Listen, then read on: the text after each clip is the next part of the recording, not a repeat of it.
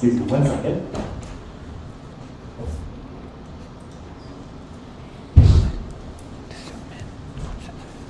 There we go.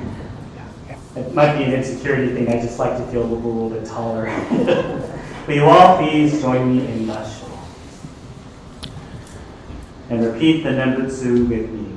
Namo Amida Butsu. Namo Amida Butsu. Namo Amida Butsu. Namo Amida Butsu.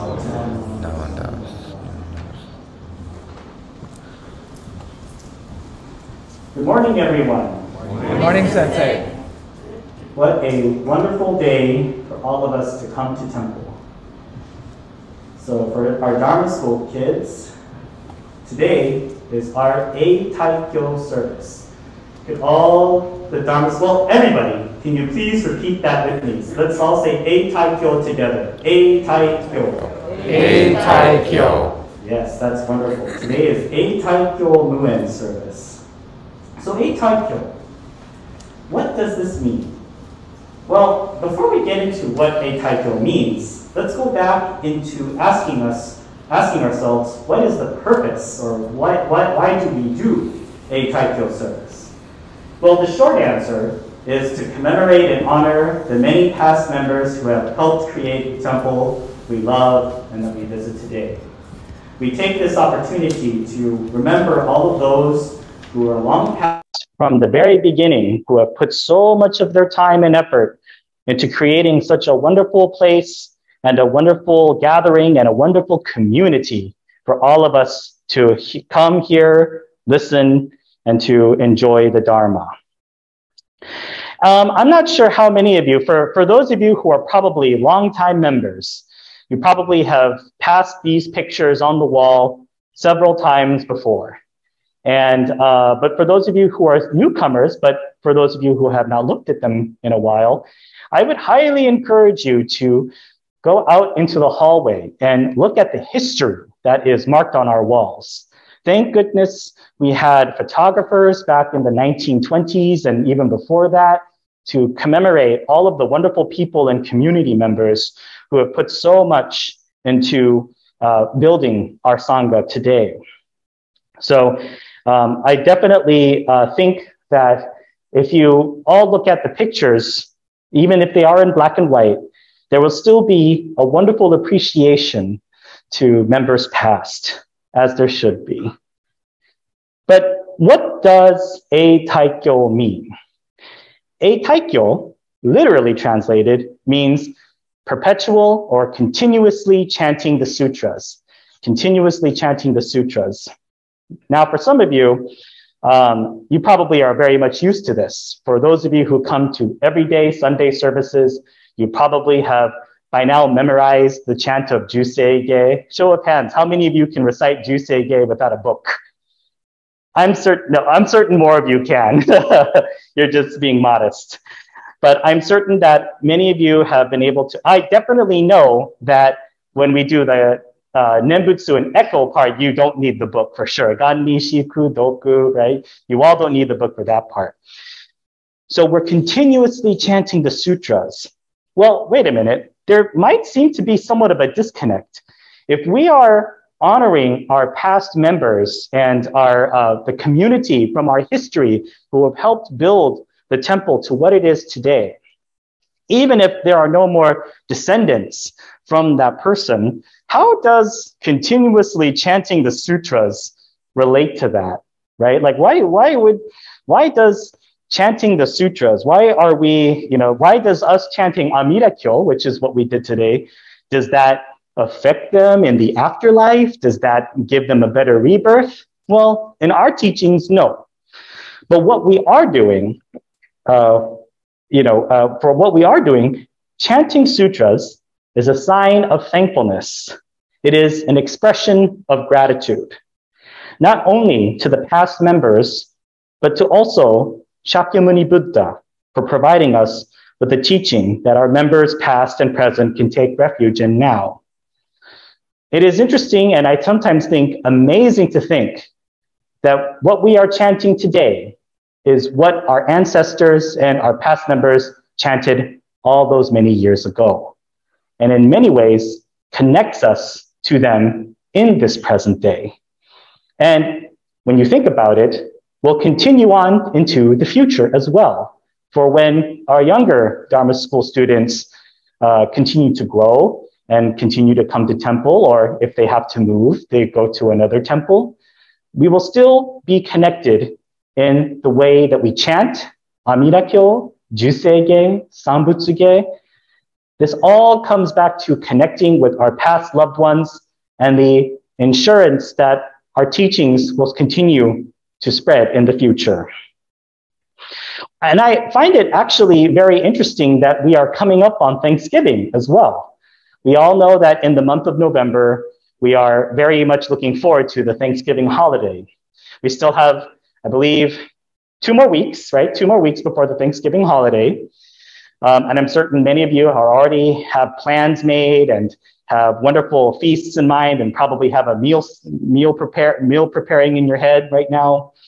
Or maybe some of you are probably thinking about, ooh, the Black Friday deals. In fact, actually, I think now Black Friday comes before Black Friday because I'm starting to get lots of advertisements in my email about the early Black Friday deals that are currently happening online. And so it's easy to get caught up in you know, what to buy, all the food we're going to eat. But I think we have to stop back, stop and take a step back and one and remember again the wonderful efforts that everybody have that everybody has done to help bring us this meal, to help bring us this time, to help bring us where we are today, and really embody what the meaning of Thanksgiving actually is. And so chanting doesn't, you know, just have to be in the temple. And as I said before, many of us, you know, we uh, come to temple and this is the only time we chant. And I'm not definitely here to say, oh, you should chant more or you should, uh, you know, um, chant this many times a day. But when you have a very strong feeling of gratitude or thankfulness, I believe that many of you, some of you, have an obutsudan in your home. You can chant in front of your obutsudan as well.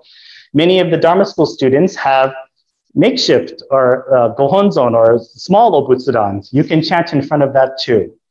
I would like us to start really thinking that chanting, like sutras like Jusei, and it can just be Jusei or Sambutsuge. It doesn't have to be a long sutra like Amida Kyo or Shoshinge.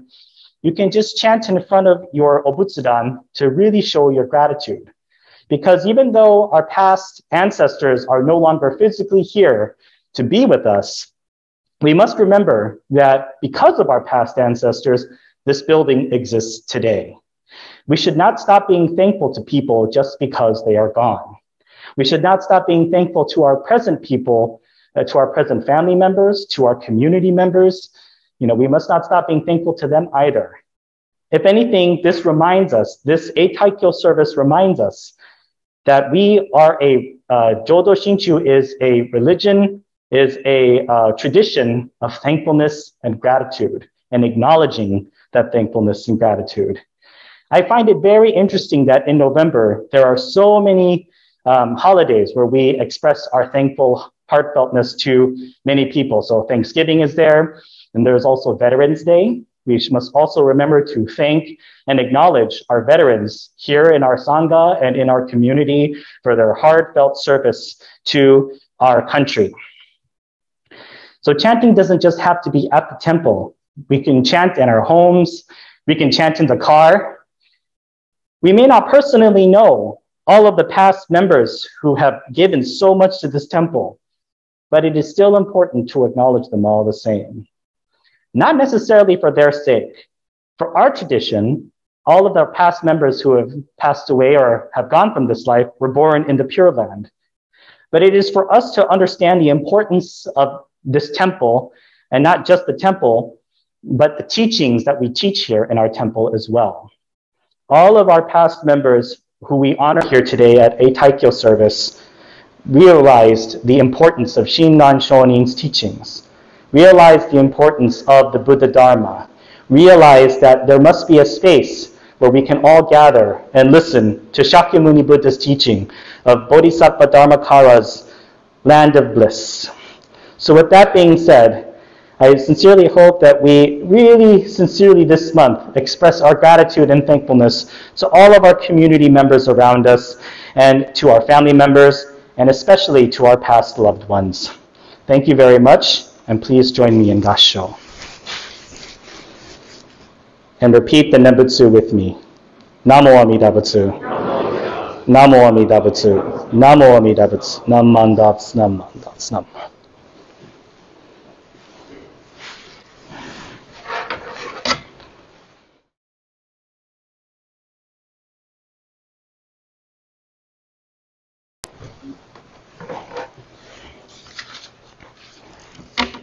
Will you all please join me in Gassho?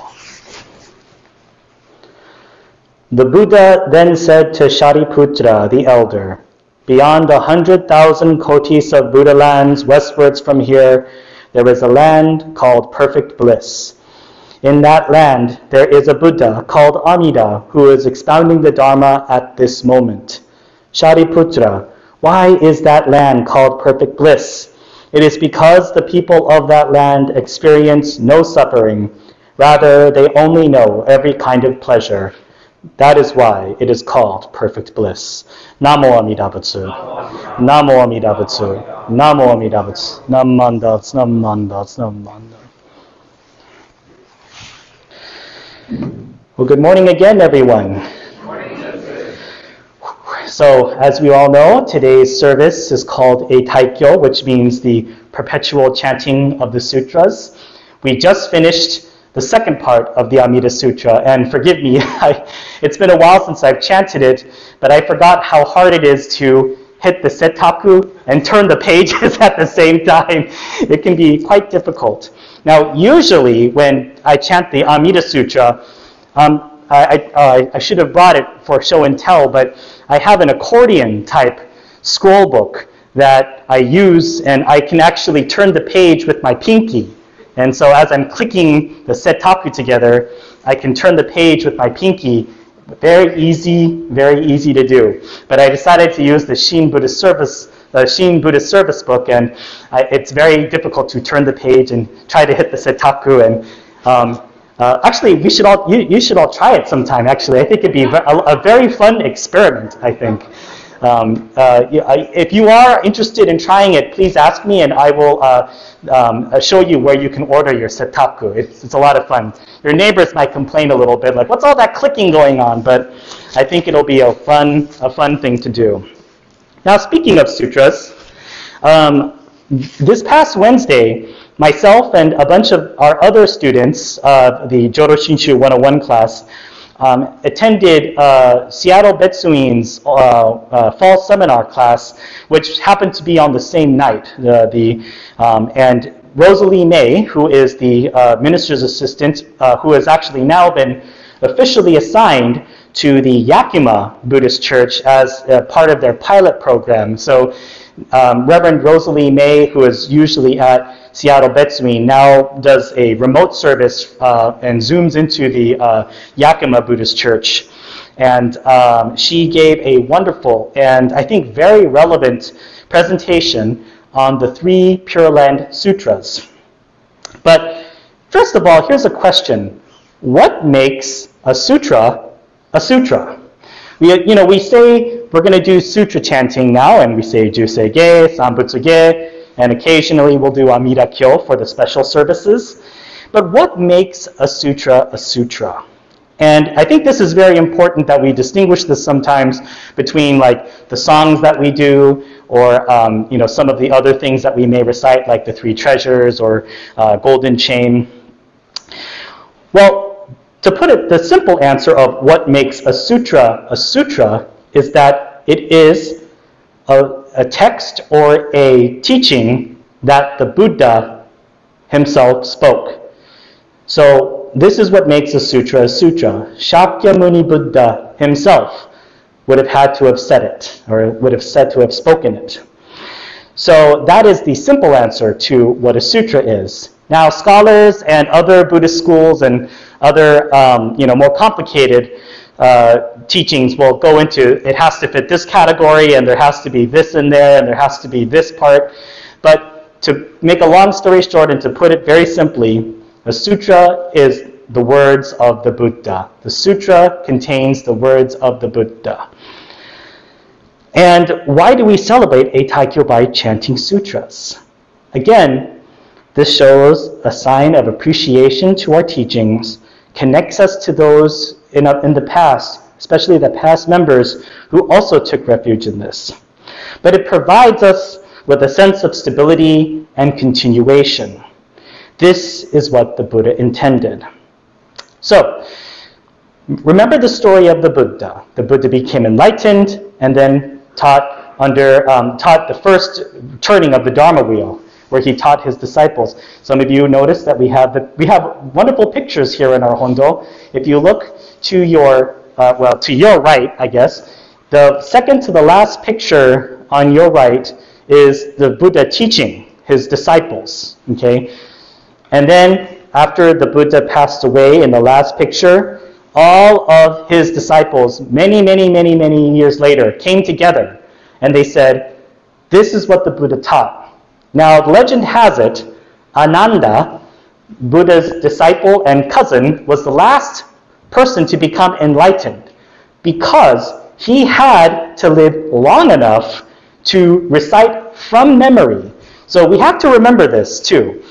Shakyamuni Buddha never wrote down any of his teachings. Okay, he never he never had a person, you know, uh, like uh, you know how we have our board meetings, right? We have the secretary, you know, taking notes, right? Never had that. The, uh, Shakyamuni Buddha sat there, and usually a question was asked, and said, and someone said to him, "Hey, Bud- hey Buddha, why this?" Or Buddha, this is something I've been wondering about. And the Buddha would give a very long and a very descriptive answer.